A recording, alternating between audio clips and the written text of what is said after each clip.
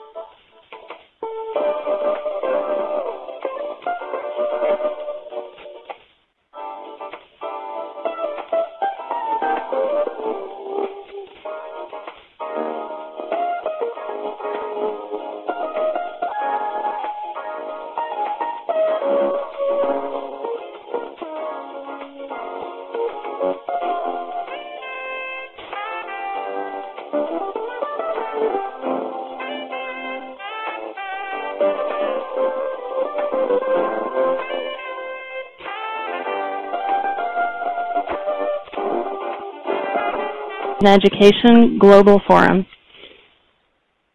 Before we get started, I'd just like to point out a few features of Microsoft Office Live Meeting. This session will be recorded and you are currently in two-way audio mode. Please make sure that when you are not speaking, you mute the microphone. The control for that is up in the upper right-hand corner of your screen.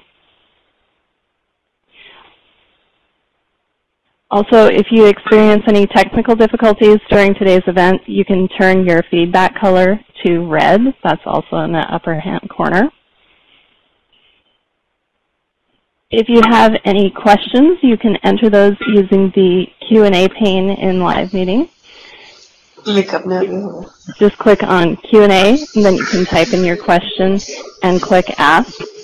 Also, at the end of the session, we will be uh, taking questions via voice. So at that time, you will be able to unmute yourself and ask your question.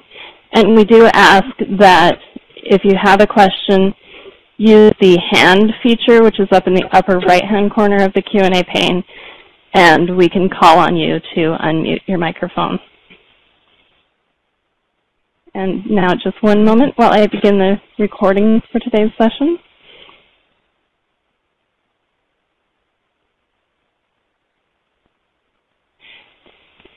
And now at this time, it is my pleasure to introduce today's presenter, Tracy Immel. Tracy, you now have the floor. Thank you so much, Heather, and welcome everybody, all of those expert educators from around the world. I always get such a thrill when I uh, do these kinds of presentations and can see people from uh, the far reaches of the of the world, Sri Lanka and Spain and Mexico, Russia, um, and here we sit uh, in, in Seattle. So welcome everybody. Uh, good morning, good afternoon, or good evening, depending where in the world you are at.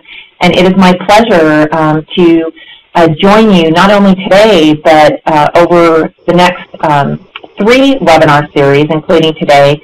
And I will also have the pleasure of meeting you all in Barcelona at the Global Forum uh, to work with you and learn with you um, specifically around 21st century uh, learning design professional development model. I wanted to start with a little bit of background uh, about myself.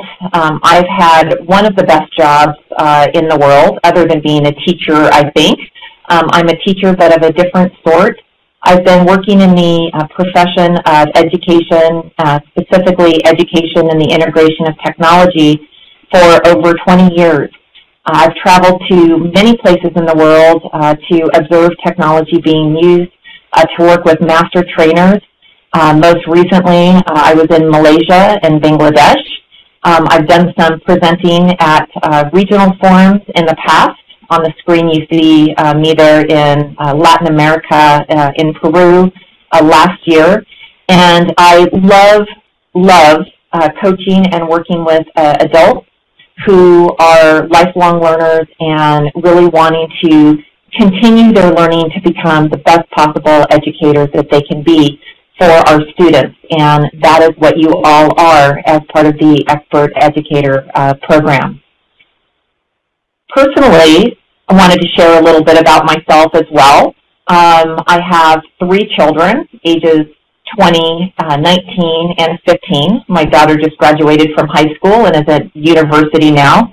And I was also recently remarried uh, in May um, that's my husband Steve down there in the corner. We got married in Arizona, and it was fabulous. It's great being a um, honeymooner again.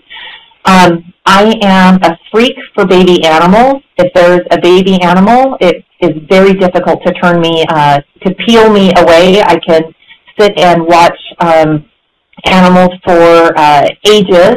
This little horse uh, I saw in Arizona, it was just two days old. It was so unbelievably cute. And um, I also have a passion for barbecue, American barbecue. And um, my husband and I have recently purchased a vintage trailer. So that is a 1947 uh, Nashua Turret, and he is refurbishing that, and hopefully this summer we'll be using that to uh, camp um, in some beautiful places here in the Pacific Northwest. So I want to learn a little bit uh, about you, and um, this is your first opportunity to uh, engage together. I'm very interested. How many years have you been teaching? You can go ahead and select um, the button uh, interactively, and I'll give you just uh, 30 seconds to do that, and we can get a, a good idea of who's on the phone with us.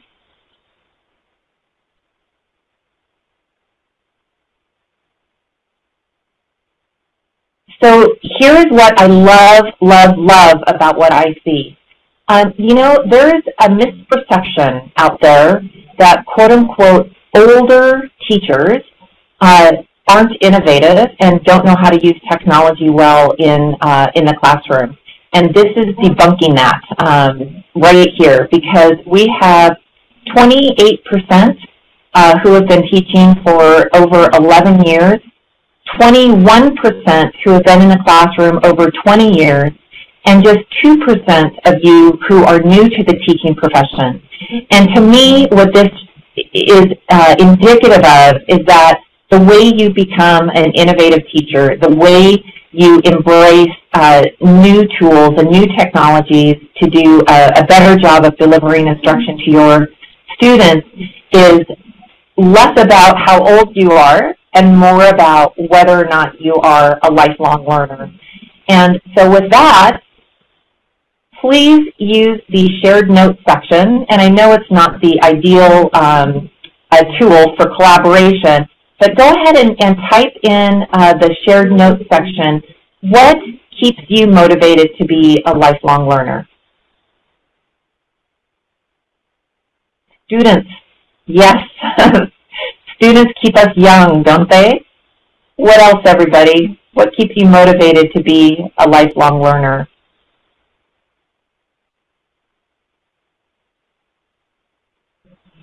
The passion to learn in and of itself. My kids keep me motivated. If I don't keep up with the latest uh, news and, and gadgets, I would never talk to them. Um, I, I laughed because I had gotten angry at them. Uh, this was a couple of years ago because they, they weren't responding to my emails. And when I asked them about it, um, they said, Mom, no one emails anymore. You, you have to text or, or Facebook if you want us to respond, which uh, sure enough, so now we respond uh, via texting or Facebook messaging. Um, it's wonderful. Thank you, everybody. Bored doing the same things twice. That's me too. So keep going. I'd love to copy and paste this. Uh, maybe I could ask for your help into a document, and we can we can pull out some of these wonderful tidbits about what keeps you all motivated to be uh, lifelong learners. Uh, and it certainly is not age related. So uh, being 47 myself, I am happy to see that we have evidence of that here on this call today. So our job together uh, today uh, is we'll, we'll take a look at trends that shape um, education, and we're going to look at the connection between uh, innovative teaching and whether that actually has an impact on student acquisition of 21st century skills. Um, I want to provide an overview of the different Microsoft professional development offerings for you um, because I know part of what you do as innovative educators and part of what you'll be doing more of as expert educators is really um, working with other teachers, uh, whether it's in a peer coaching kind of model or a more uh, formal, you know, workshop or training environment, you'll be doing a lot of work with other educators. And so I want to make sure that you have uh, a good understanding of the different resources that Microsoft has and many of these are in your playbook, uh, your expert educator playbook. So you may be familiar with some of them as well. Um, why we're going to be doing 21st century learning design over the next few sessions is because you will have an opportunity to take what you're learning um, as part of these webcast series and integrate it uh, and update your own learning activities that you submitted as part of you being chosen for the Expert Educator program. Um, as you know, your projects are going to be judged um, at the Global Forum, and the judging criteria will actually be these, um, in part, these 21st century learning design rubrics. And so we want to make sure that you have a really good understanding and have an opportunity to practice um, coding using the 21st century learning design model. In addition, you'll be participating in a team competition, which is very exciting um, the Learnathon. And those Learnathon projects will also be using the 21st Century Learning Design rubric as one way to uh, assess uh, who will be getting top honors uh, for those Learnathon projects.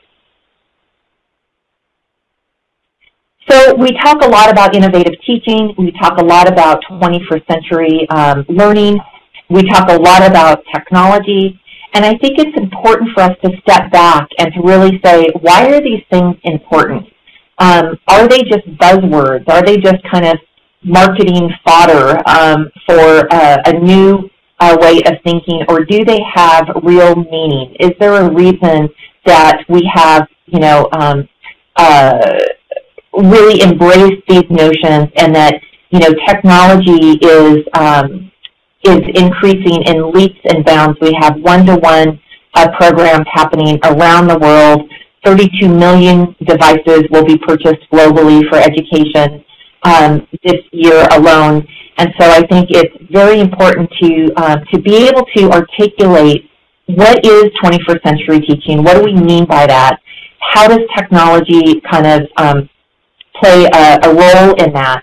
And whether innovative teaching practices really does have uh, an impact on student acquisition of 21st century skills. I mean, I think that these statistics are the why. Why is it important? Why are we talking about this? And it's really because what we're doing today, maybe not what you're doing in your classroom, but you are the creme de la creme.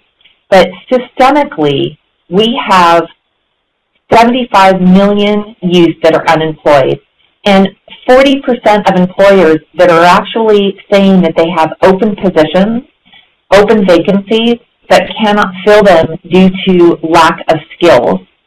And when our students are in high school in particular, we are losing them. 40 to 60% of them are chronically disengaged. They're not showing up for classrooms. They're not paying attention in class. They're bored. They are absolutely not learning to become those lifelong learners. that is so important for the jobs that are open today, for the skill set that employers are looking for um, today. If you think about the different trends that are happening globally, um, you know, people today expect to be able to work and learn and study wherever and where, whenever they want. They're no longer tied to particular uh, desk jobs. We have the ubiquitous access of technology in the workforce. Uh, at home, students are using their cell phones um, to stay connected uh, all the time, every day, constantly. And over the next 10 years, the most um, innovative changes that are happening in education are likely to take place outside of traditional uh, institutions. So when you think about the uh, massively open online courses, um, otherwise known as MOOCs, um, that is a perfect example of amazing learning happening, um, some of it delivered by the top universities in the world, and it's all happening outside of the traditional classroom. We have over a million pieces of content being shared on social media, 120,000 blogs being created, two blogs per second by 15-year-olds every single day, every single day. So these are the things that are happening outside of the classroom.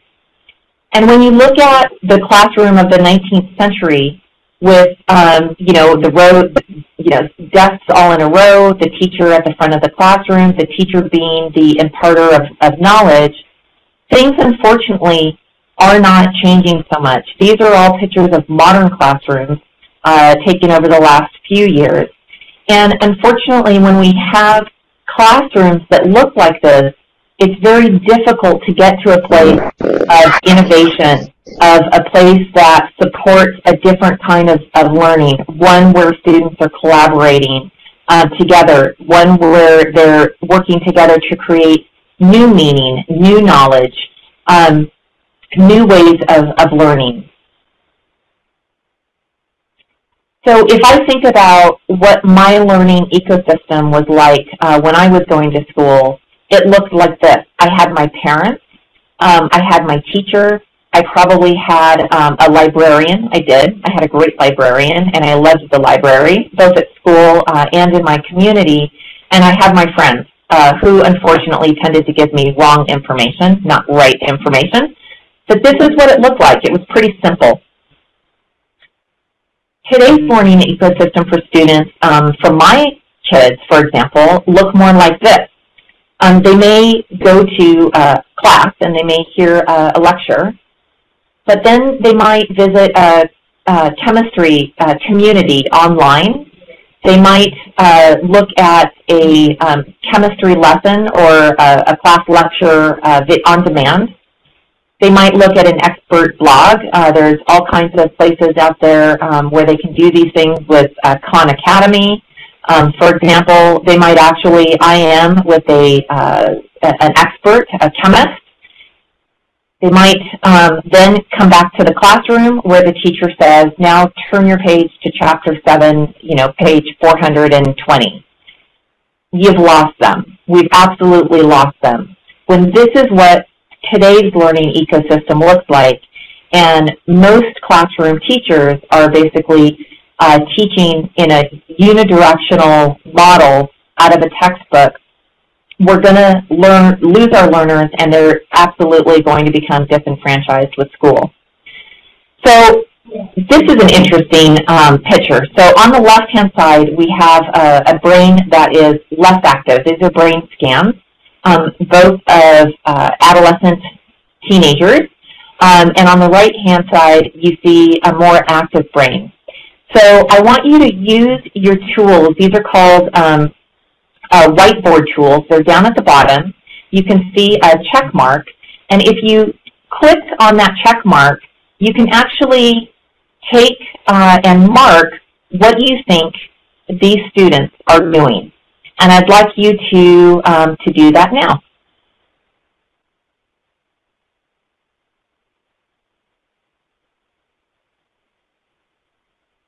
Okay, so we've got less active, a lot of people thinking they're either listening to a lecture um, or watching TV. And more active, they could be doing all of these things. It's kind of all over the map. Okay, well here's what's interesting. I'm going to go on to the next slide. They're actually doing the same thing.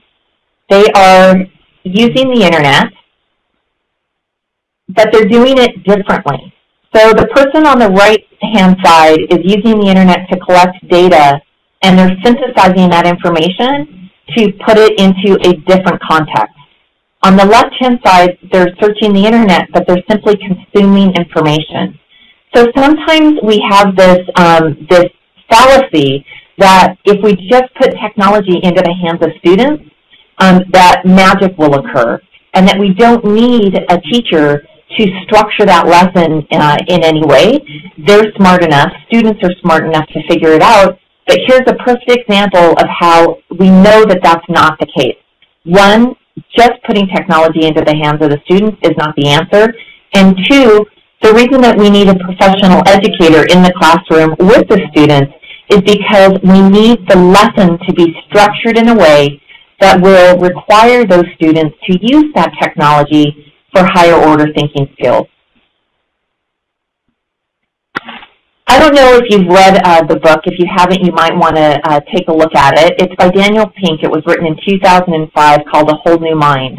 And he talks about something called the conceptual age. You know, education systems of the past supported the needs of the past. So if you think about in the industrial age, which is what really our current education models were created to serve, um, what we wanted was workers coming out of those schools um, to be confident but very task-oriented. The last thing you wanted a factory worker to do was to think um, innovatively and to daydream about creative ways to solve problems. You really wanted them to be very task-oriented and focused on doing one thing over and over and over again and to do that one thing very competently. But today what we need is um, if we're if we're to hope um, to infuse 21st century skills, we we need to basically have a conceptual age, a new era of work where the economic demand of needing workers who are skilled in areas that are guided by the right side of the brain, these creative areas around innovation and creativity, entrepreneurship, um, empathy, the ability to collaborate, the ability to play, all of these areas are guided on the, on, from the right-hand side of the brain.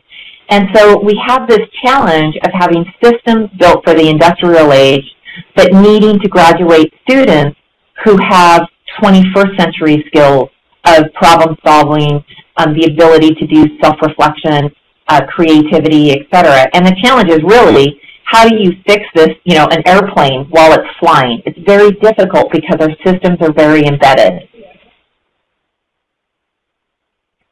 So we need teachers to, to think about things differently, even though sometimes the systems don't support them in that. What characteristics do you think a 21st century teacher needs? Can you use the shared note section to, um, to type in your thoughts?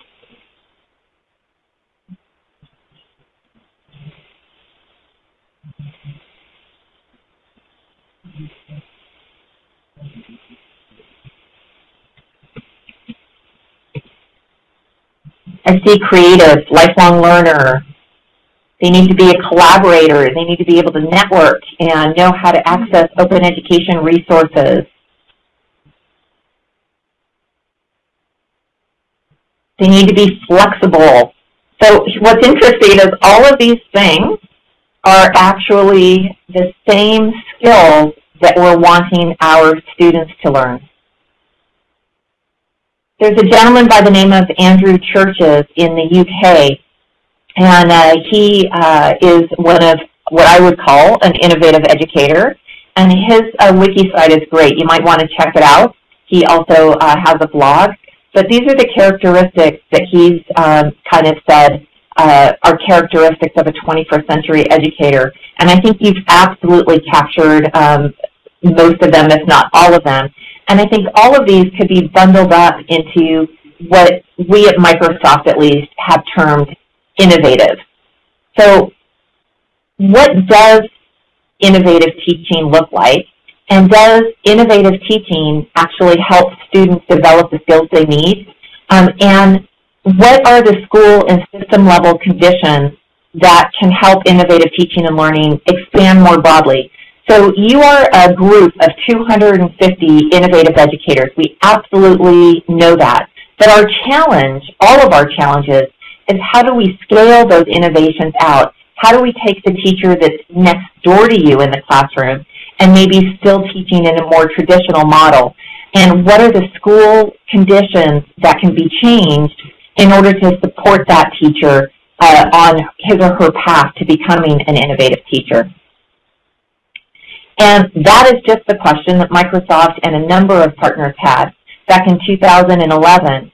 Um, they did a study called the Innovative Teaching and Learning um, Research Study along with SRI or the uh, Stanford Research Institute.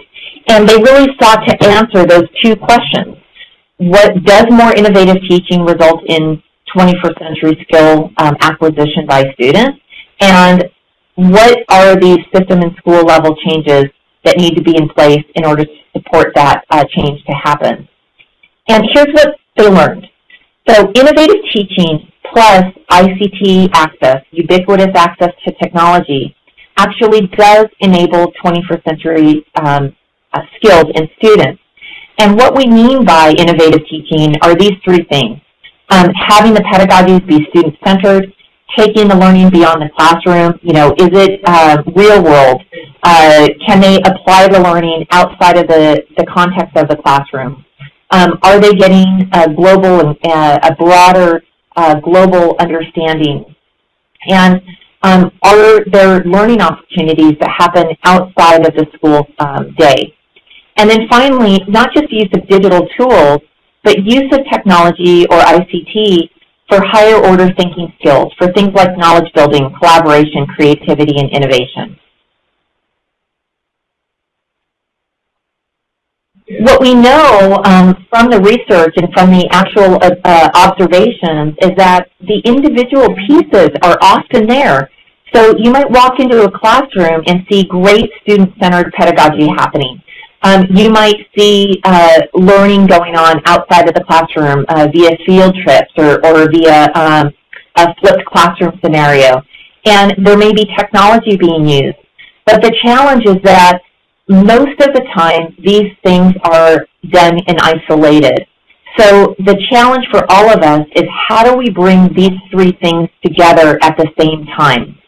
And those three things together um, are what we call innovative teaching practices. We know that when technology is being used, uh, unfortunately, it's being used primarily for the consumption of information.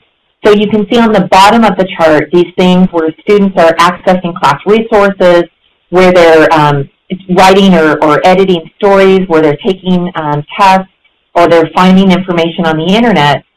Most of those tasks are really about consuming uh, of information. And what we need students to be doing to really uh, enable these 21st century skills is the more complex um, technology uses the ones where you're using the technology to create something, to develop simulations, or collaborating with others um, from around the world, or at least outside of their classroom, um, doing simulations, creating animations, putting together multimedia presentations. And again, not for the sake of creating a, a fancy, good-looking presentation, but because it requires a higher level of synthesis of information to create a compelling multimedia presentation than it does to, to simply write a report. So this is our goal, everybody. This is our task uh, for the next 12 months, is to help other educators uh, around the world um, use technology in, in more um, ways to create new knowledge as opposed to consume it. The other really interesting thing that we found out as part of this research is that um, when learning activities are designed specifically to enable 21st century skills, that 21st century skills are actually what comes out from the student's work. So that is a very easy way to look at this fancy chart and say, when a learning activity is designed intentionally to elicit 21st century skills, when student work uh, is turned in and students are actually presenting their work, we see a higher um, likelihood that their work is going to reflect those 21st century skills. And when we looked at what are the school attributes um, of the most, where there is most innovative teaching practices happening, what are the school attributes? And the number one uh, attribute of the most innovative schools in the world was collaboration among educators. So we need to have technology being used for higher order thinking. We need to have learning activities being designed explicitly with 21st century uh, goals in mind, 21st century skills in mind. And we need to encourage collaboration among educators. And when you combine all of those things, you will start to see innovation scale uh, among schools and systems. So we're going to start talking a little bit about the professional development um, programs that Microsoft offers. And I'm curious, I'm sure all of you have participated in professional development uh, in your career. What would you say are the most impactful professional development models? And again, you can use the tick marks on the bottom to go ahead and, uh, and choose what has worked best for you.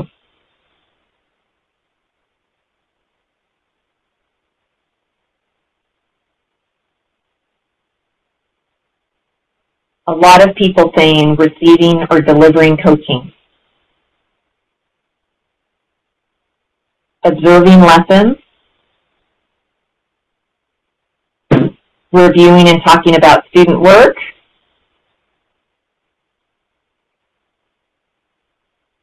And unconference style PD. I'm interested in what that means at the end, whoever said that can help us all know what that means. Oh, yeah, you can write in. Happy to. Wonderful. Thank you. Okay, so here's what's interesting is if you look at what people are saying, as trainers, as peer coaches ourselves, we need to keep this in mind. That because because what works for one person doesn't work for everybody. And the most compelling professional development actually is a number of these styles, a number of these things combined together. So when we asked this question to educators in the research, um, this is what they said. The most effective professional development was actually practicing a new teaching method, doing research on a particular area, or sometimes it's called action research, um, planning or practicing the use in the uh, in the classroom. And forgive me for some reason in um, uh, in the uh, platform, it's it's not showing uh, the content correctly. But basically, what this says is keep this in mind as you're working with your um, uh, teachers that you're going to be peer coaching or if you're going to be doing workshops or training yourselves. Keep in mind that a blended model is what works best. And what Microsoft has done in all of their professional development is try to give you tools that you can use in this blended model. And really how important it is to ask your learner, um, to ask your uh, coachee what is going to work best for them. And in all likelihood, it's going to be a range of, of um, observing, lecture, um, doing action research, uh, attending teach meets, uh, and getting uh, individual coaching and, and practicing. So how can we all collectively support educators through this transformation? And specifically, how what what's the thinking that has gone um, on behind the scenes with Microsoft as they've created kind of a, a, scaffold or a structure to support educators, no matter where they fall um, on the comfort level of, of technology. some of you might be familiar with um, the UNESCO ICT Competency Framework for Teachers. This is just one framework of a range of competency frameworks for educators around the use of technology uh, in teaching and class, um, teaching and learning. Um, you may have heard of uh, the ISTE framework, which is the uh, International Society for Technology uh, in Education.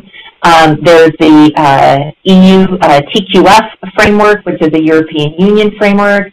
It's really not important what the framework is because 80 to 90% of the competencies that they list are similar. In the UNESCO framework, they happen to um, have looked at it across six different um, kind of domains, uh, understanding the connection between uh, government policy and what happens in the classroom, curriculum and assessment, pedagogy, uh, the use of technology, uh, organization and administration, and teacher professional development. And then if you go to the right, you'll see each of those columns is labeled technology literacy, knowledge deepening, and knowledge creation. And you can think of those as levels or approaches. Um, they might be role-based. Uh, they might be, um, depending on your country context uh, or where an individual teacher plays. There's different um, learning objectives kind of underneath each one of these boxes. And so that has been kind of the foundation of how Microsoft has started to think about their professional development offerings. So before we start with an overview of what those offerings are, can you um, let me know which of the following um, offers you're familiar with? And it's okay if you're not. That's what today is for, and that's what your Expert Educator Playbook is for.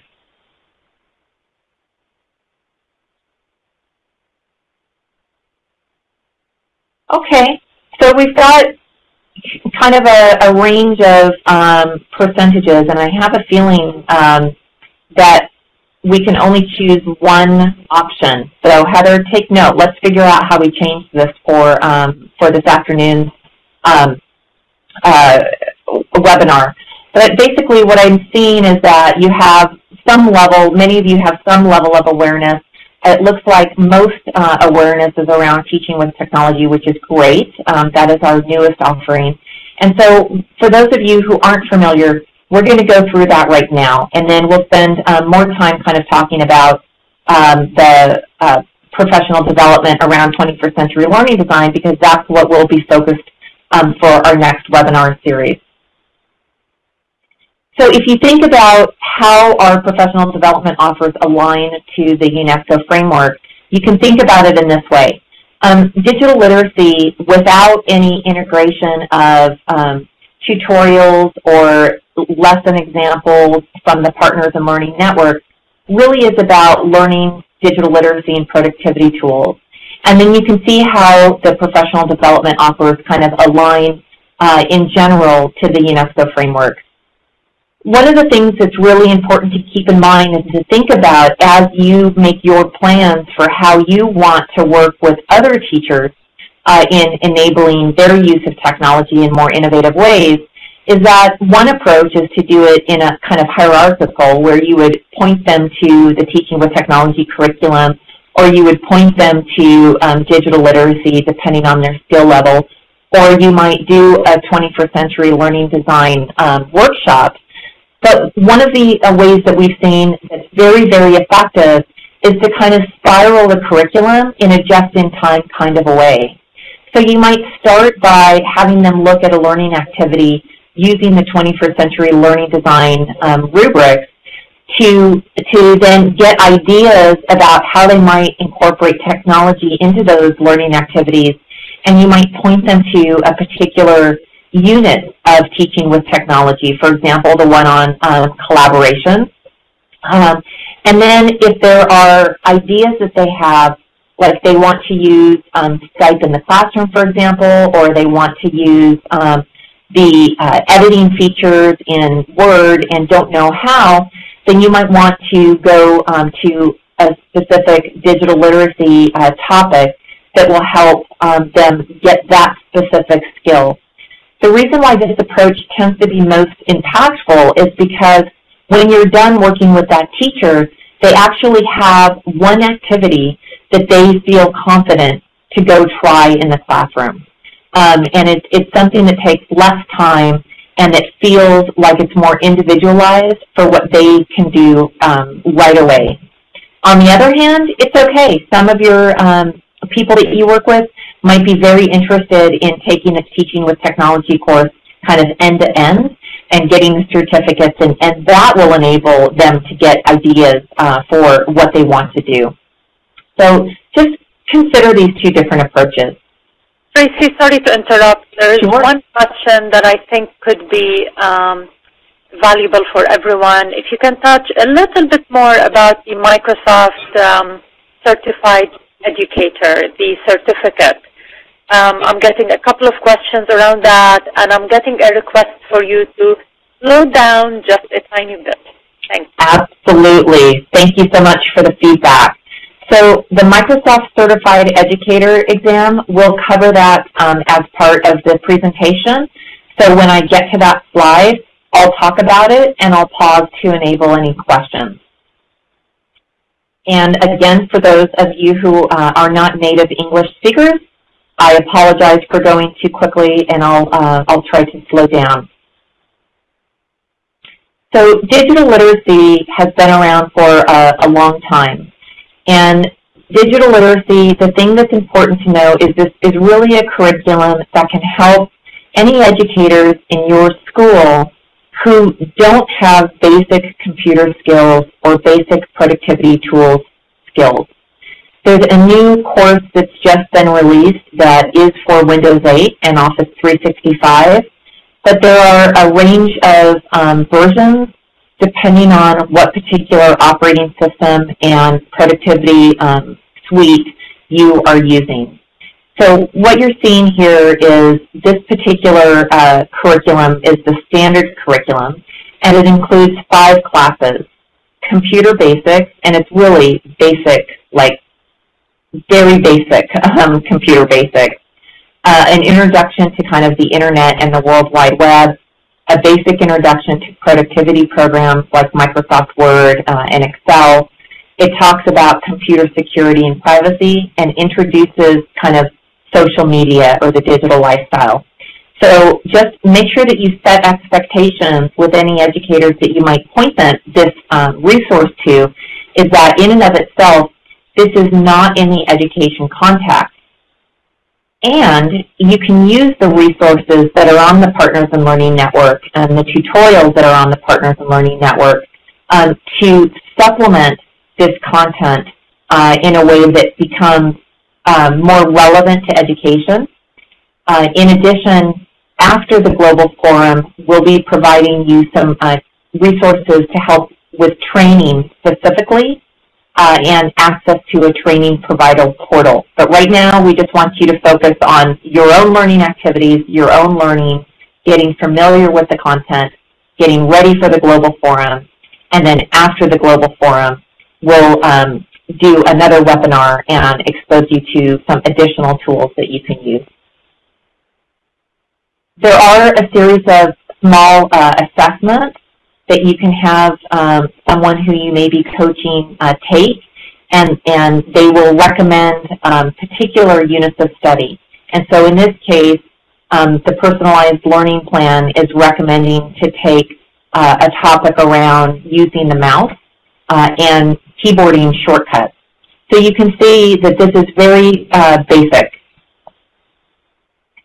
These are the learning objectives that it covers. Um, if I were to, to take the particular course that was recommended, or it's just a little lesson, it's on identifying different uh, groups of keys.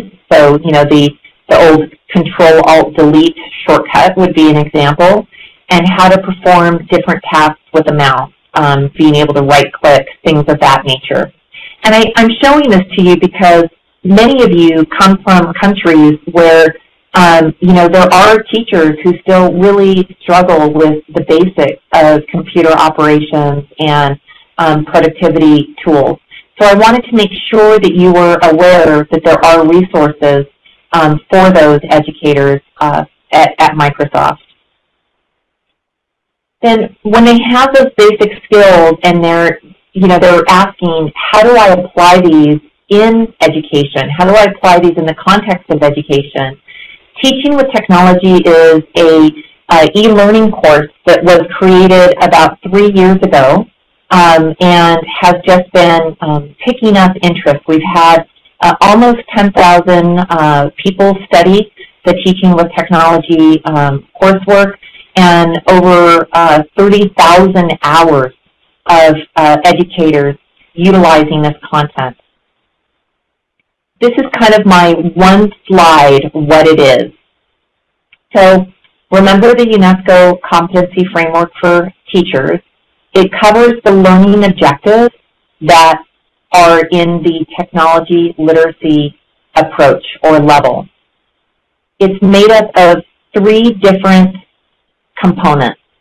The self-assessment, and that takes about um, 45 minutes or so to do, uh, and that creates an individualized learning plan.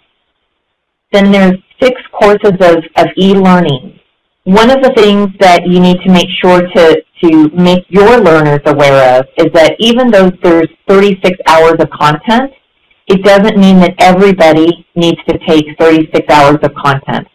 By taking the self-assessment, you're only identifying and, and recommending those courses or those units of study that um, where there are learning gaps. And each of those courses are embedded with um, case studies and different activities and tutorials so that uh, if, if a learner was really motivated, there's not only kind of the knowledge acquisition that can happen, but there are opportunities for them to go practice um, their knowledge in the classroom with their students or at least uh, on their own in a professional context. You can earn a, a badge um, once you complete all six summative assessments um, on the Partners in Learning uh, network. And then there is an optional Microsoft Certified Educator exam, and I will talk about that more uh, in just a minute.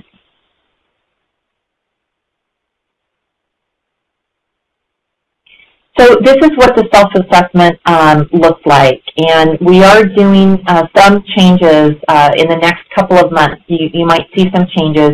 We've learned um, from uh, the, the users that have gone through it, and we're trying to optimize based on their feedback.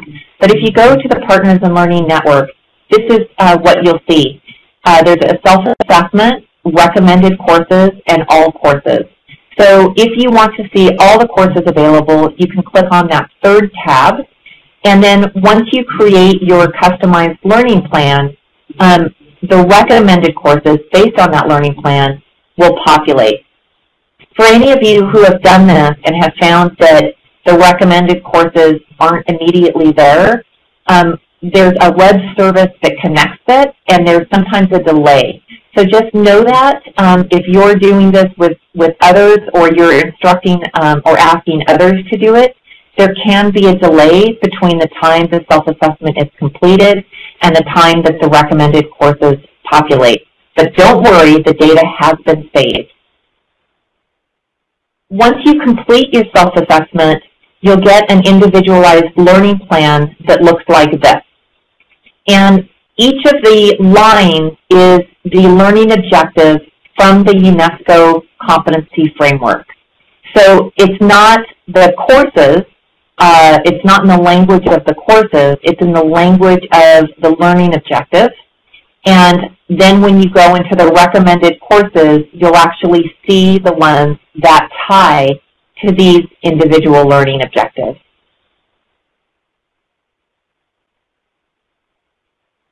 When you launch a topic, um, each topic ranges um, between 20 and 45 minutes. Um, most of them will have a small audio portion um, to kind of set the context for what will be learned.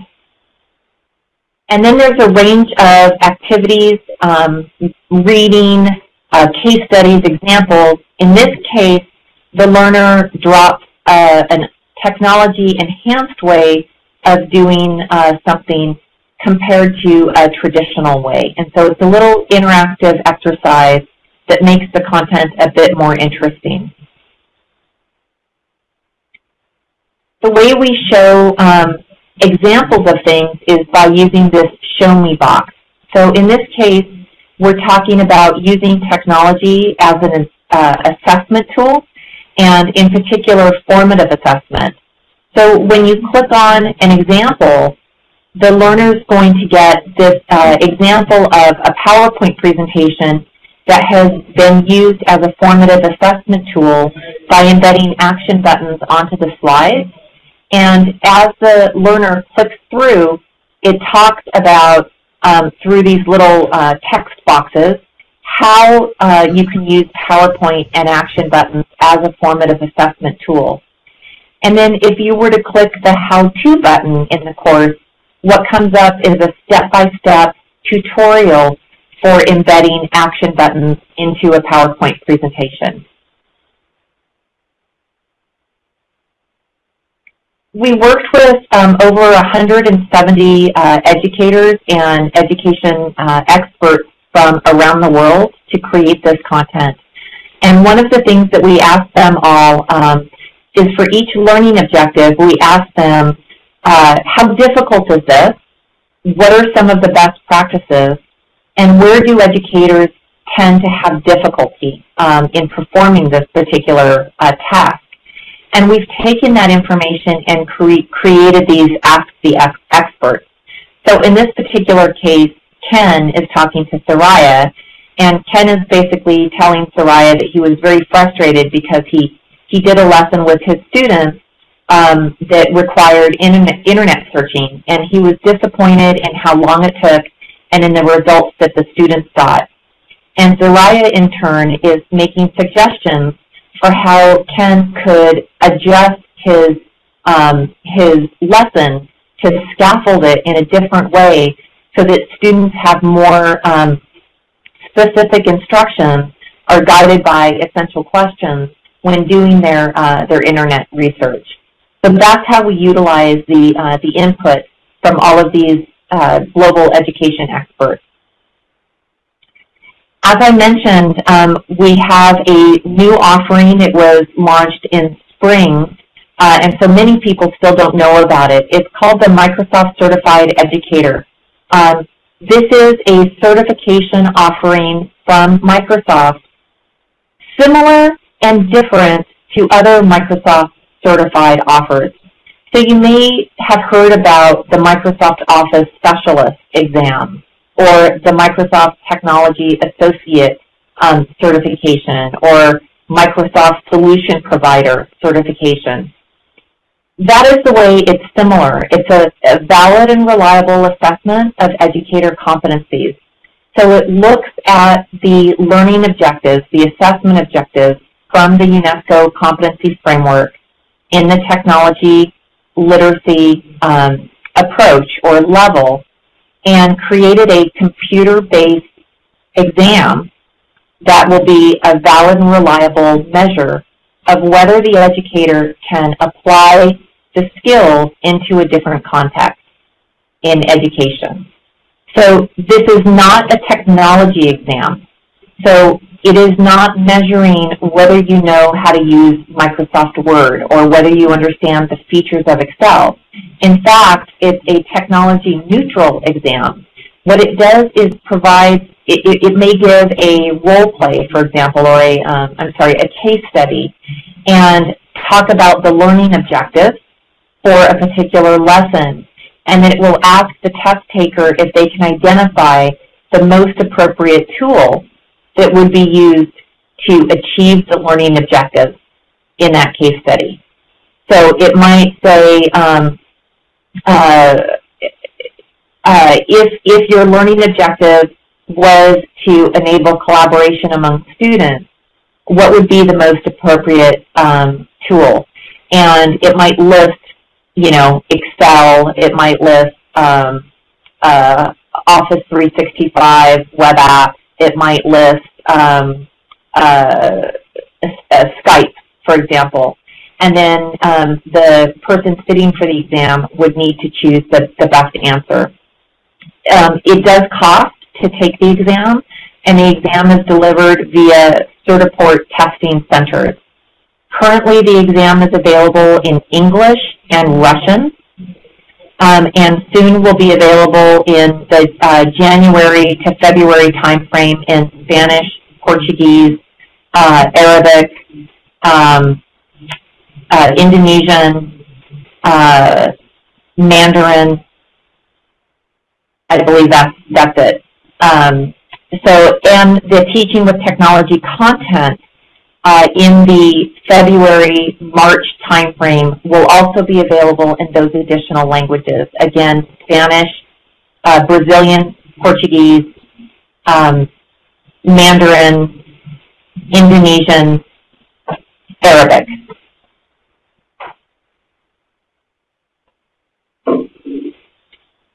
There is um, a level 300 21st century learning design and level 300 is um, our, what we will be spending the next uh, two webcasts on. And excuse me one minute, I'm going to put you on mute for just one second.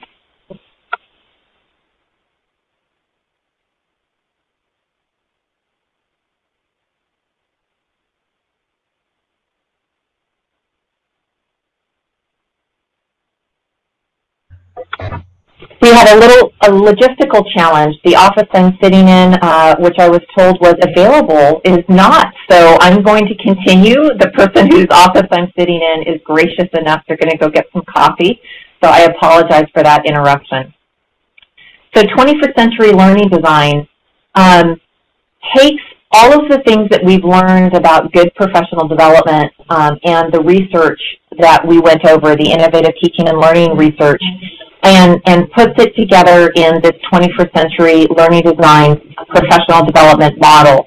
It incorporates um, educators collaborating uh, together, practice and analysis of their own learning activities, um, as well as sample learning activities, redesigning um, learning activities based on these rubrics, and then looking at what are the student 21st century skills that are a result of designing these learning activities in this way.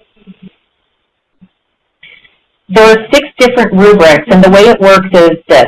Basically, this is a very simplified approach, and we will actually be practicing this on the next call. So each of the six uh, 21st century uh, learning uh, dimensions has a corresponding rubric and asks a series of questions.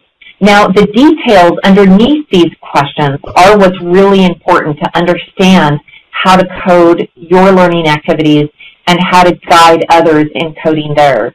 But in a very simplified way, it basically, the first step would be, are students required to work in pairs or groups?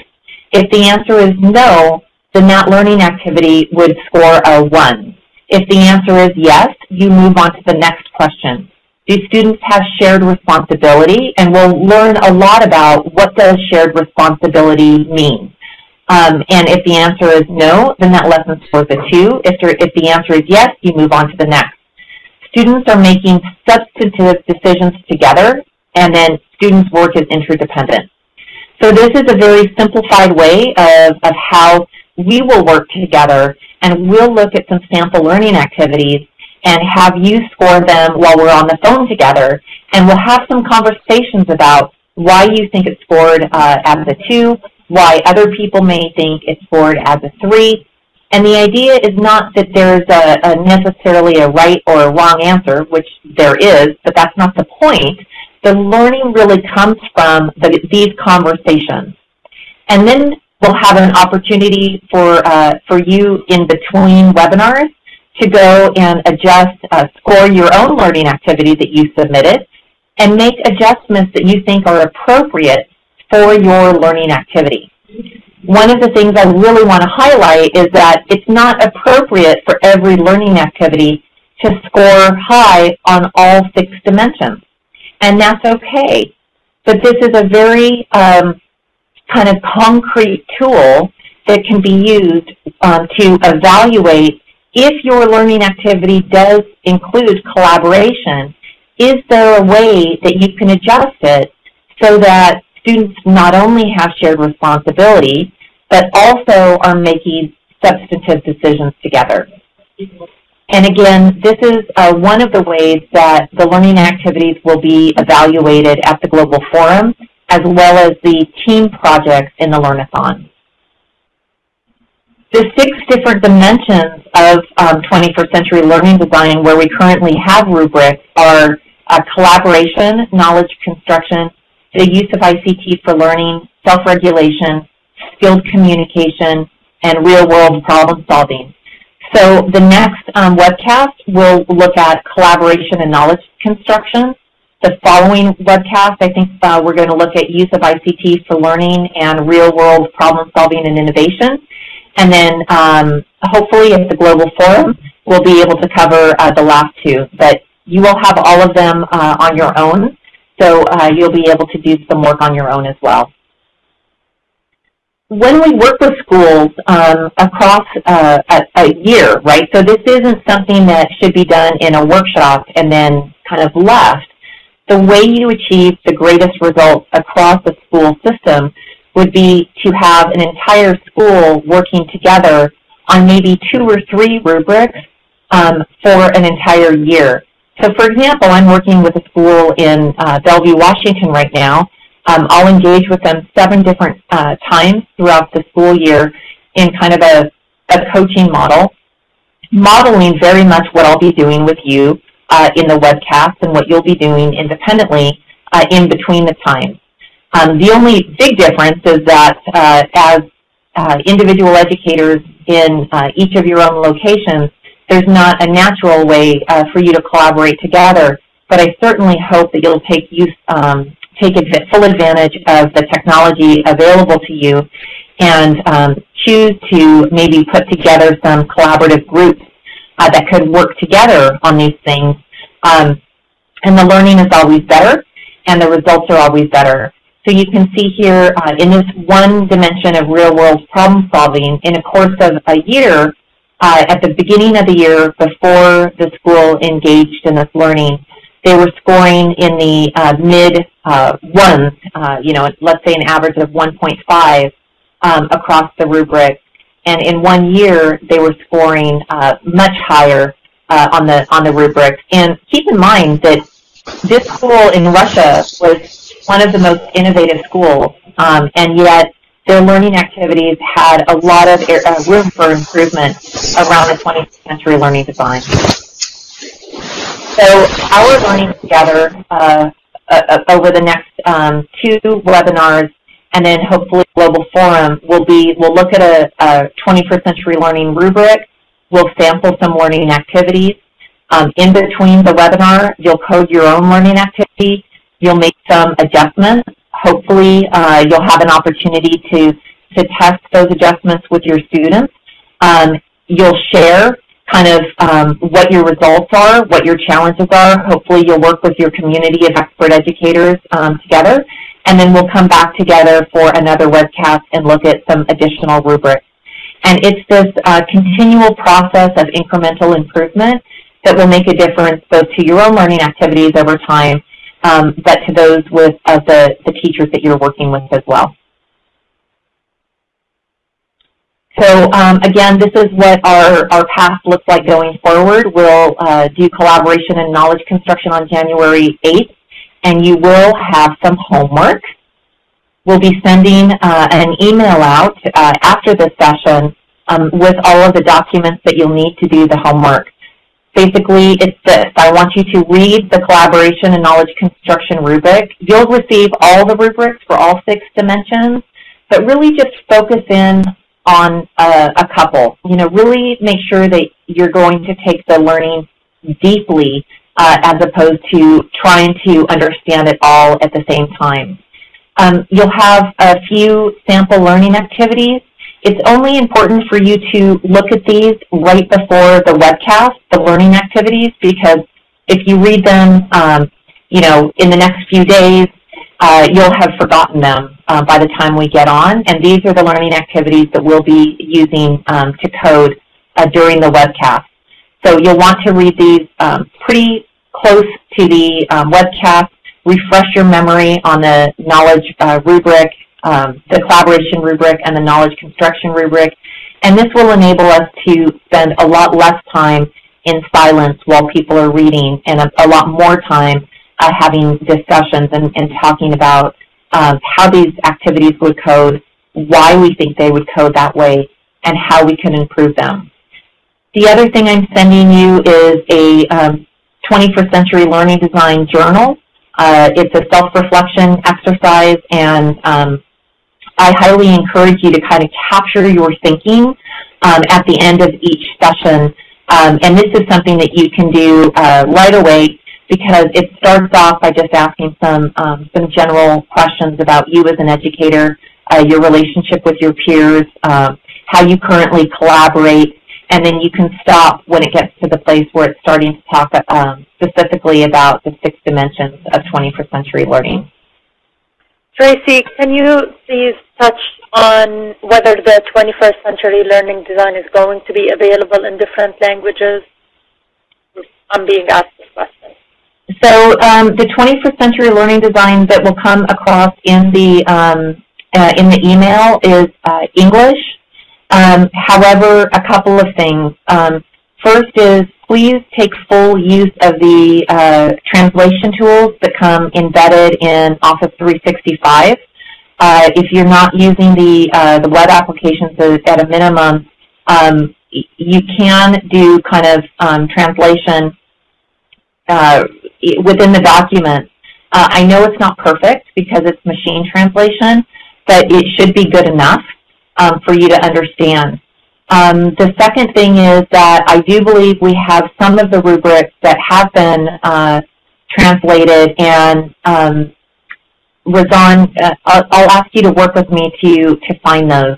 So I, I believe that they've been um, localized into uh, Arabic and uh, Spanish, but I don't believe the learning activities have been.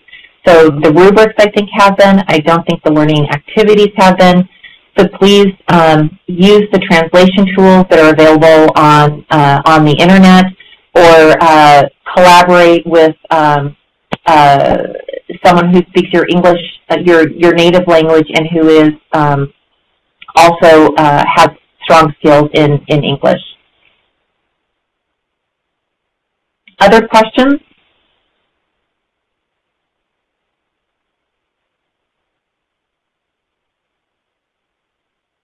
Anything else I can answer? There is, a, yes? question whether they can work in uh, pairs with regards to this activity. And if it's okay with you, Tracy, I would suggest that for this activity in particular, the work needs to be um, individual. Do you agree or? Um, so I actually disagree. Um, but that's fine but I can't I can't speak to uh, to the impact on the their individual learning projects. But I I believe that better learning will always happen um, more collaborative, you know, in a more collaborative environment. Razan, when will the um, the Learnathon teams be assigned? The Learnathon teams will be assigned on the next call. So on the January call, you will be, all the teachers will be put in groups, which you will need to work on the Learnathon um, um, project at the forum within that group. Okay, so here's why I asked. For those of you who are interested in working collaboratively, it might be uh, interesting to work in your Learnathon group, uh, which will be assigned the next session. Um, however, if you have people that you already know and you and you want to do this, um, you know, uh, work collaboratively, I think it's absolutely fine.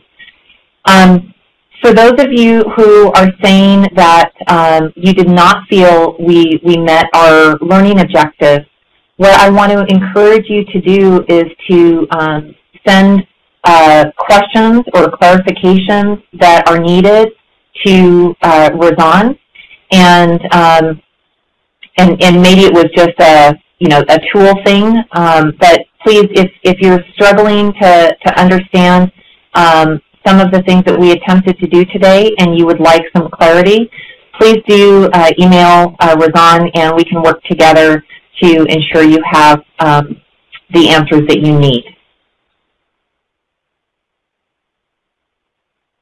I do have I do have maybe two minutes, three minutes for questions. So if there are um, questions that would help you un, uh, understand uh, more, please feel free to uh, uh, uh, speak. You can unmute yourself and ask the question verbally, or you can type the question uh, in the Q&A pane. Tracy, not more than that, sorry, but it, we're already 10 minutes over time and I do need to present um, yep. digital story. Yep, no, two, two pieces, two, two minutes, that's all.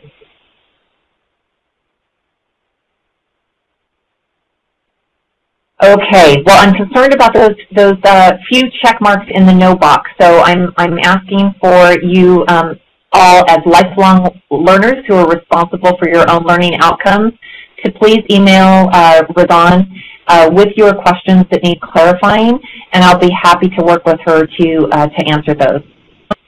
I thank you so much for having me on. I appreciate uh, the opportunity um, to learn with you, and I'm very excited to have our next uh, call uh, on January 8th, and to meet you all face-to-face at the forum. Thank you.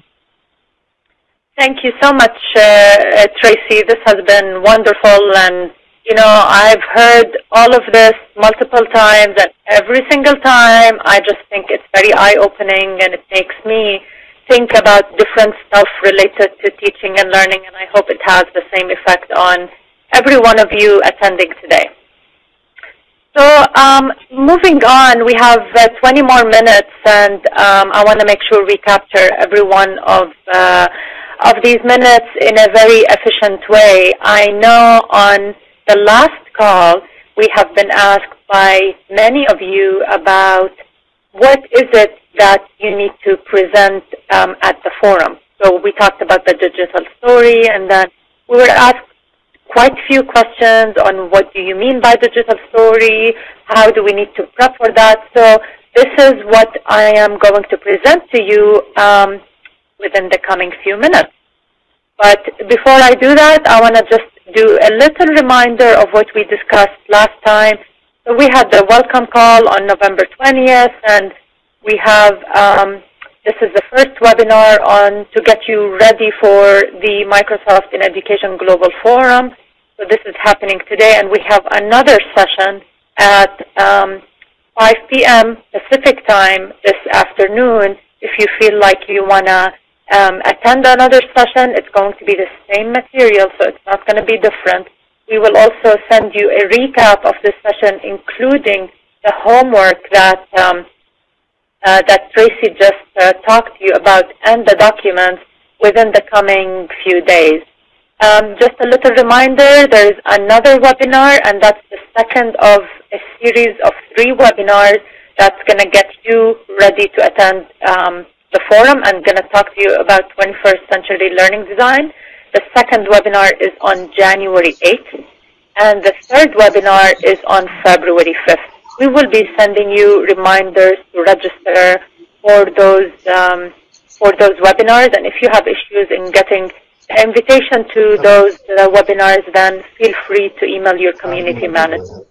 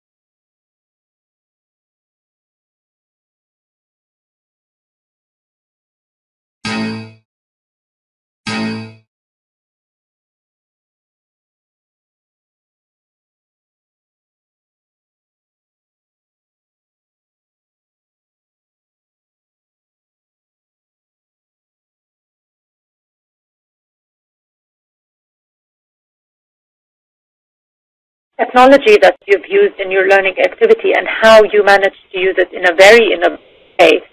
And it's also important to talk about um, how you integrated or how learning happened beyond the classroom. So when um, when you are within the exhibit, sitting there, and the judging, um, the judges would come over to your um, to your exhibit to learn about your learning activity. We are giving each and every teacher three minutes to explain your learning activity to the judges. Use digital story. So I always say practice makes perfect. So please feel free and keep practicing. Put together your digital uh, story and practice it so you are very crisp in your messages when the judges are there um, for you to be able to go through everything within three minutes. Um, so in a nutshell, this is your sort of the elevator pitch you're going to use for, um, for the learning activity you put together. One important thing for you to keep in mind is that the video you put together within the application that will be viewed by the judges and it will be viewed ahead of time. So you do not need to include that video within your digital story. Now, probably you're going to ask me, what is the format of the digital story? So we would like the digital story to be in PowerPoint. So that is the basis of the format of the digital story. And then you can be as innovative as you like within um, how you present that. You want to include pictures, feel free to do that. You want to include videos, please feel free to do that as long as it sort of includes um, everything we talked about when it comes to student outcomes, collaboration, learning beyond the classroom, and um, and everything else that you've planned for your learning activity. The last thing I want to say is, um, this is more on the logistical side, um, you will each get your own little table at the exhibit. So you will have a little table and then um, using your Microsoft device, you will be able to present that to, um, the judges, the, your digital story. Now, what we are trying to do is that we're trying to get monitors that you can use to be able to screen your digital story a little bit bigger than um, than a smaller tablet, but that's still not confirmed. We are working on that, and hopefully we will um, get to get to do that. Um, for this year, if you want to put together posters that describe your learning activity, if you want to have handouts ready for the judges and other educators, or you want to decorate your table with flags and with other things, then feel free to bring whatever you need for your table um, um, with you when you go to Barcelona. One thing that is um, I want to point you to is a digital story guidance document. If you look on your right-hand side, you will see a little icon with um, three little papers on it. If you click on that, you will be able to download the digital story guidance document. We will also include that in the recap email in case you did not have the opportunity, opportunity to download it here. Um, with that, I am done with my slides. I can see that there is a lot of questions, so um, so what I'm going to do is read those questions and try to answer them.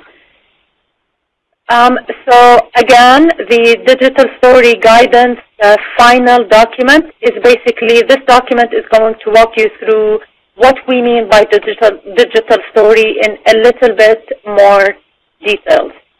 For the sizes of the stand and the exhibit, we will get that to you as soon as we have it. We're working on that, and you will get that information very, very soon from us. What kind of um, training of the playbook is best suited for someone who is already, um, well, what the kind of training that is suited for someone who is already good in 21st century uh, skills is basically what Tracy was um, was walking you through earlier today, I would say one of two things is um, will be um, very useful for educators who are more advanced in technology and 21st century skills. The two um, uh, professional development resources I would point you to is Teaching with Technology and also what Tracy is going to walk you through in a bit more details on um, the January call and the February call, which is 21st Century Learning Design. Those are very useful resources and professional development for teachers who are more advanced in 21st century skills. You mentioned the learning video. Um, yes, the learning activity and the video both can be updated as you see fit between now and the forum. The judging process will start before the forum. This is when the judges will take a look at your application and your learning activity and your video ahead of the forum. And then it will be um, continued at the forum where you will have your three-minute um, time to really walk the judges through um, your learning activity and tell them a little bit more about it. Can, can I bring a small projector? Sure, you can bring a small projector um, if it helps you um, with your digital story.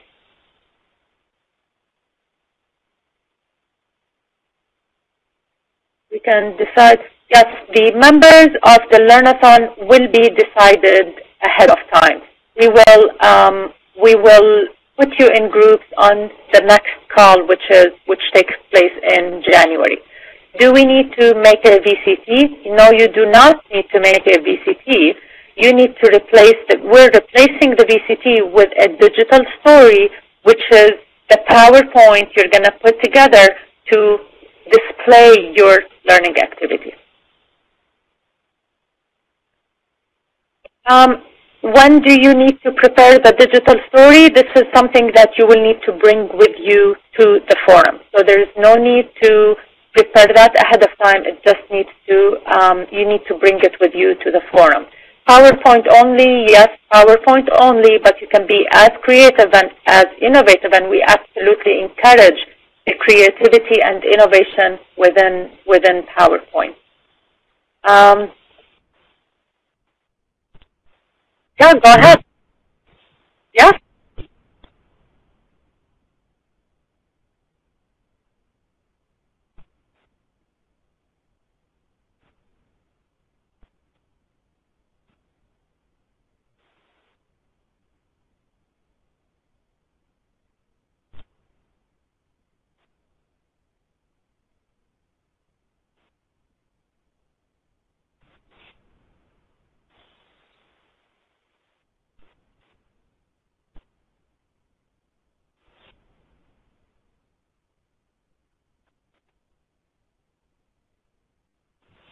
Yes. Yes. For, for,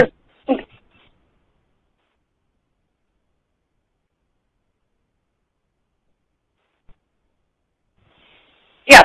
So if we're breaking in the middle of the question, but if I understood it well, there is no need for a VCT. And the replacement of the VCT is basically the digital story, which is in PowerPoint format.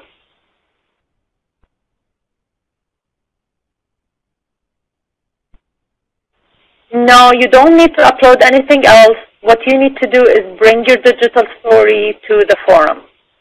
We're asked about adapters. Yes, you do need to bring your own adapters to the forum, and this is something that's a little bit difficult, and the reason why you need to do that from your end is because adapters are very different from one another. So that's something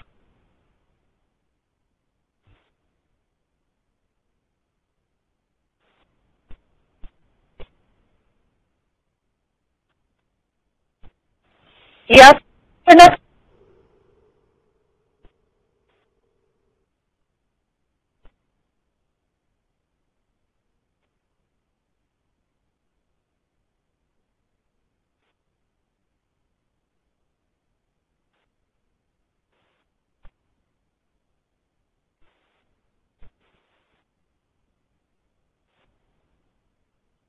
Yes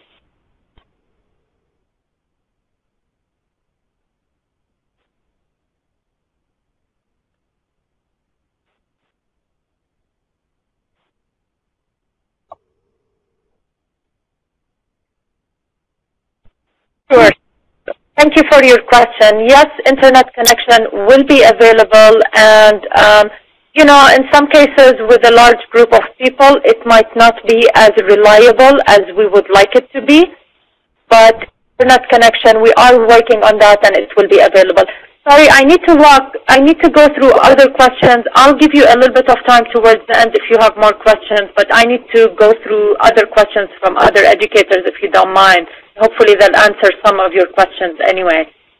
Uh, uh, we're, we're getting a question, does the Microsoft device have to be our, our new Surface or can we use a personal laptop? You can use a personal laptop if you prefer. The, what we are trying to do is that we are trying to actually um, give you the surfaces at the forum. This we are working on. It's not confirmed 100%, but the idea is that you will get the surfaces at the forum. Um, when exactly will the judges look at the video? The judging will start in January, so this is when the judges will start looking at the videos. Um, we talked about the Surface devices. At this stage, we're trying hard to get them to you at the forum. There is no uh, template for the PowerPoint. We want you, the reason why there's no template is because we want you and expect you to be innovative. So, but the guidance document should give you enough uh, parameters on what you need to include in that PowerPoint. You can include a video in that PowerPoint. Um, yes, the Learnathon will be a competition, and it will be a group competition. So next call, you will be placed within a group of teachers, and you will need to work with them on the Learnathon project. As I said, judging will start in January. Yes, you can update the video. I have two more minutes. I'm going to use them to answer more questions. When we talk about improving the learning activity, does that mean we can remove uploaded learning activity and upload? In, no, you will need to work on improving the one that already exists within your um, expert educator application. Hello. So could we? Hello, can you listen to me? Yes, we can hear you. Go ahead. Uh, hello, my name is Anna. I'm from Guatemala. I just have a question. The, you were saying that we were supposed to change or ad- readapt our learning activities. So are we supposed to uh, try the new one with the students? Because the school year in Guatemala just ended. So I really couldn't do it with my last students. Sure. So, so it's not a must that you work on your learning activity more. Um, we're just giving that as an option for those who would like to add stuff or enhance their learning activity. So if you you have already submitted your learning activity and you've been selected based on that, so we're sure your learning activity is great, but you always have the option to improve it only if you want to improve your learning activity. Okay, thank you very much. Sure. Um, we are trying to get you surfaces at the forum, but if you want to bring your own Windows 8 machine or Windows machine, laptop, tablet, um, feel free to do that. Um, you will not have a projector, but we're trying hard to get monitors that you can use for the presentation for your judges. Um, unfortunately, it will not be a Surface 2, but it will be a Surface RT machine. Um, so with regards to posters, will there be a place to hang the posters? Um, so imagine a little table with um, with a chair that you can sit on. Um, probably, possibly, you can hang it right in front of the table. There will be places to hang a poster if you decide to bring one. This year, posters are not um, are basically optional. So if you'd like to have a poster, you're welcome to do that. If you'd like to have handouts or other decorative stuff for your tables, you are more than welcome to do that. The difference between the VCT and the digital story is that the VCT is basically a template, while within the digital story, we're basically not providing you with a template. We want you to be as innovative and as creative as you would like. Will there be um, stages in the competition? As with previous forums. I'm not sure I understand the question, so um, please feel free to unmute yourself and uh, explain your, your question to me. So the judging will start in January. So if you want to um, enhance your learning activity or enhance your video, you can do it anytime until you get to the forum, but um, the earlier the better so the judges can see your enhanced version of the video or learning activity. There is no latest date for enhancing your video or learning activity as long as it's before the forum. So you can keep enhancing until you get to the forum. And with regards to the digital story, yes, you just bring that with you to Barcelona. You, you do not need to upload it um, anywhere. And I think with this, I managed to answer all questions we are two minutes over time, but if there is one last question, if someone wants to um, unmute themselves and ask any question, then feel free to do that. We, I'll give you three more minutes to do that, and then I want to be respectful of everyone's time, so I won't take um, more than three more minutes. Anyone uh, more? Can you, can you hear me? Yes, we can hear you. Go ahead. Should, should the PowerPoint last three minutes? Is are they going to uh, watch a three-minute PowerPoint, or are we going to talk for three minutes? You're going to talk for three minutes, so you can have as many slides as you like. So the PowerPoint can last longer. They're not going to watch it while we're talking. Yes, they're going to watch the PowerPoint while you're talking. So you're going to walk them through the PowerPoint.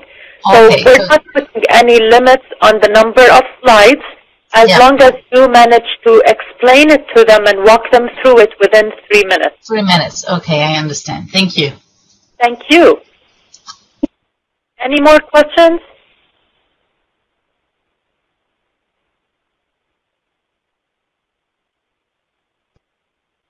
So with regards to the homework and what you need to do, um, what the Tracy, the homework Tracy gave you, we will definitely send that to you in the recap email that you will get within the coming few days. You will get all the documents, the details on the homework, and everything else. Can you hear me? Yes, we can hear you. Go ahead. Yeah. Well, we're from Chile. Uh, we are kind of confused now because you said three minutes just to the PowerPoint, right? So, so sorry for confusing you. What mm-hmm. I meant to say is that the, the, the number of slides within your PowerPoint can be as you see fit. There is not a limit on the number of slides. However, you need to walk the judges through those slides in three minutes. Does that make sense? Yeah, and what is the time that I have to what is the time that do I have to present our project, for example? What is the time, the right time? Three minutes. Yes. For all the project? For your project, you, each and every teacher will have three minutes to walk the judges through their learning activity. And the okay. Yeah, okay. Thank you. Thank you. Hello? Yes, we can hear you. Go ahead. I have a question about the our own table we have uh, to have at the exhibit. Uh, what about the uh, size of that uh, table? about the posters that we are we are going to have if we are going to have? Yes, um, we will get you this information. We do not have this information yet, but we will get you as soon as we can. You will get that information from your community manager. Okay, thank you, thank you. You're most welcome. Uh, could you tell us if uh, the judges will ask questions after the three minutes talk? Yes, yes. And for how long? If they need if they need any kind of clarification, then they will absolutely ask questions. Okay, but do we know how long the, the, the whole thing will go on? No, it really. I mean, it, they need to get as much information as they um, they feel they need for them to be able to um, judge each and every educator with with you know being fair about judging each and every educator. Yeah. So um, so I'm expecting them to and to ask questions. Absolutely. All right. And will it, will that be will that be uh, all in English? Yeah. The whole talking will be done in English. All right. Thank you. Yeah. Thank you. Um, yes, that I did not answer, and it's related to the, um, I believe, the judging criteria. Um, the judging criteria is basically going to um, be very aligned with the 21st century learning design that Tracy started talking you through earlier today. So this is why it's important for you to do your homework and to be on the January and the February calls for you to be aware and to be um, to be very um, deeply um, aware of how you are going to be evaluated. Any more questions? I think we're seven minutes over time now, and I will allow one last question, and then I, we need to know another thing. Go ahead. Uh, are the judges going to evaluate with a rubric? Yes, the rubric will be, will really be 100% aligned with 21st century learning design that Tracy we're gonna gonna walk you through on the January and the February call. Okay, thank you. Sure. I think with this we're gonna need to um, end the call. Um, so thank you everyone for attending the call. There are last uh, few last questions in the uh, in the Q&A pane. I will go ahead and answer them um, privately, but I'll hand it to you, uh, Heather, to just um, um, uh, end the call. All right. Thank you so much, Razan and Tracy, for your presentations today. Ladies and gentlemen, I do want to thank you for all of your great questions as well. And just a reminder that you can down, download the handout uh, up in the upper right-hand corner of your screen. It's the icon that looks like three white sheets of paper. And with that, thank you so much for joining us, and we'll see you on the call in January.